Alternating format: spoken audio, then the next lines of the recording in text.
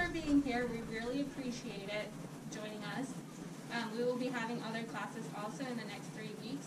It would be great if you can join that too. Um, just one quick question, if you're comfortable answering it. Have you guys ever had a fall? Okay. I have, Okay. Were you guys able to recover from it by yourself, or somebody had to help you? somebody had to help me. Okay. Somebody had to help you. So falls can happen for many reasons. As you guys mentioned, your diagnosis it comes with deviations in how you move, so it can make you more prone to having falls. You can also have muscle weakness.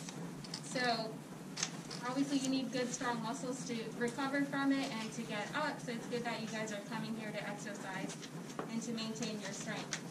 The other reason why you could have falls is because of taking a lot of medications. So some medications can interact with each other that can cause signs and symptoms such as dizziness that can increase your chances of falls or even taking so many medications that are supposed to treat the same issue. The um, other thing you have to be aware of is if you have any cognitive impairments, you always want to check your meditation status. I know it's kind of hard to remind yourself, you know, you got to check your behavior, um, how's your mood every day. If you don't feel like checking that, you can always ask a family member to do that for you. Um, if you see any changes, you can always notify your doctor. You know, obviously you want a good mental status to not have a fall and to recover from it well. The other thing is having any visual impairments. In some instances of stroke, you can have changes in vision. I don't know if you guys have experienced that, but there's also other diagnoses that can also change your vision. And obviously, you need your vision to walk, sorry, to what? see where you're going, or to move in your wheelchair so that you don't have a fall. Um, if you notice any changes in your vision, Oh, I still. obviously go to your doctor so that you can get that checked out. Another question I have for you guys is, do you guys, did you guys do any home modifications for your diagnosis just to keep yourself safe? Okay. Has that been helping you guys? Okay. So, what kind of things did you do to change at home so you decrease your risk of falling? Well, the main thing I did was remodel my shower. Uh-huh. A wheelchair accessible shower. Okay. Perfect. And what about this overall space in your bathroom? Have you made it bigger to where you're able to move freely and not have to scoot everywhere? Oh, good. Bigger than yours. Yeah. Okay. All right. That's the number one thing is that we look at. A lot of houses aren't built to have big enough doorways. One for walkers, two for wheelchairs. Um, so that's a lot of times the things that we have to modify to make sure that you're not having to modify how you move throughout your home and make it easier. So as you guys mentioned, it's good to have the handrails around the house so that it'll give you an extra supportive balance. The other thing is to have good lighting in the house because you want to see where you're going. You can also put a flashlight near your bed. That way when you're trying to get up in the middle of the night to either use the restroom or whatever, you have a source of light near you so you don't fall either. Good. Um, the other thing is you can get no skid mats around the house so you don't slip on it. You also want to make your bathroom area safe. As you mentioned, you have the chair that can go in. You don't want to slip in the bathroom either. You can also have grab bars filled in your bathroom so you can hold on to that while you're using the toilet. You can also get elevated toilets if it's hard for you to get up from the toilet seat. There's one thing that I want to emphasize is that rugs are a huge issue that people undermine. Yeah. And a lot of people don't understand that that little tiny lip, uh, it trips everyone. Yeah. Um, so definitely think about non-skid and also just eliminating the rugs themselves. Any questions? And make sure your shoelaces are always tight. Rick. Always. We're gonna do some fall demonstrations to show you if, for whatever reason, you're gonna fall, how to fall safely.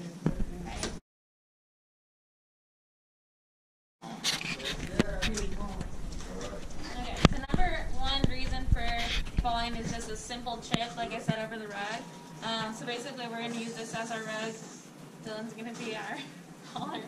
Um, basically, you wanna make sure that you're always tucking your chin, so that way you protect uh, your head, things like that. We don't wanna further cause any issues. Um, the other thing is that we're gonna try and turn to our side because your side has more surface area um, than falling on your arms outstretched, which can cause many issues in your arms, things like that. Okay, so Dylan. Trip, tuck, and then roll on your side. Again, you landed here on his, the side of his thigh, which has more surface area, and not outstretched.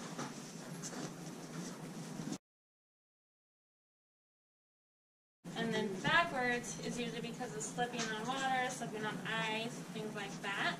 Same concept, tuck your chin because you're protecting your head. Try not to fall straight back, and don't tuck to where you're landing on your bottom, because that usually causes issues as well. So again, try and twist and land on your side.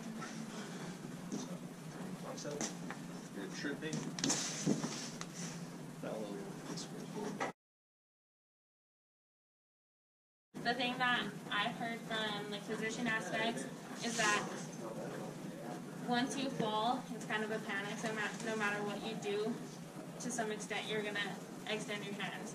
Now, practicing the moments of kind of how Dylan was going slow mo, we can do exercises to get you through the motions, so that when you do fall, it's kind of the set thing to where okay, you have that tuck and roll versus the outstretched hands.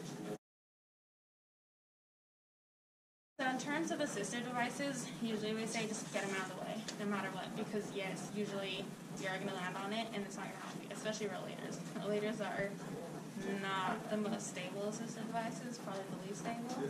Um, so any home, I would say that's usually our thing. Just if you know you're going to fall, if you can't prevent it at that point, just push it out of the way. So how do we get up from a fall? Um, some tips for home is always have some kind of stable surface in each room um, and in multiple, multiple spots if you can, um, because then it's easier if you're in a random area of the room, you can move to that that's more accessible. So, um, depending on your diagnosis, if you have a stronger side, you're gonna be you're gonna want to use that side to help you get up. So once you have scooted all the way to the stable surface, you're gonna use the or use the unaffected side to be on side of the chair. You're gonna go into a half kneeling position, keeping this arm extended. Use all the or put all the weight onto the unaffected side. So you're pushing, pushing, pushing, and twisting. Okay. If you can use the affected limb, then do so, but more than likely that's not the case.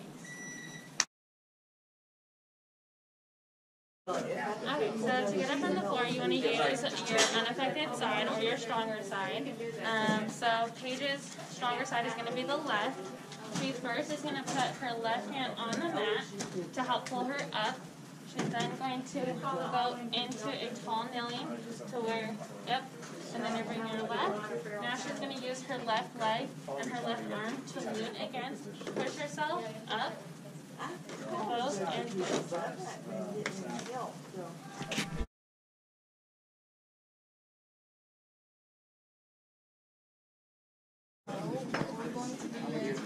on this lovely fancy harness system.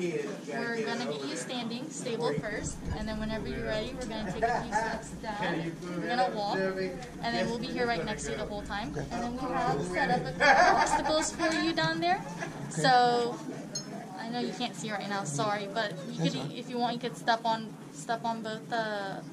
There's like a blue foam. You'll step with both feet, and then you'll step on a step, and then there's like another step, just to challenge your balance a little bit. You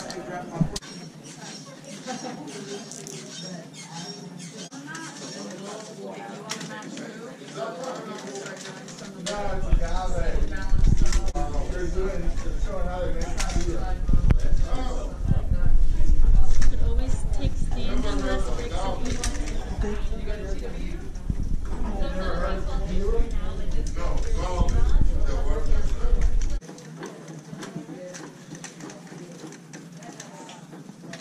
Okay.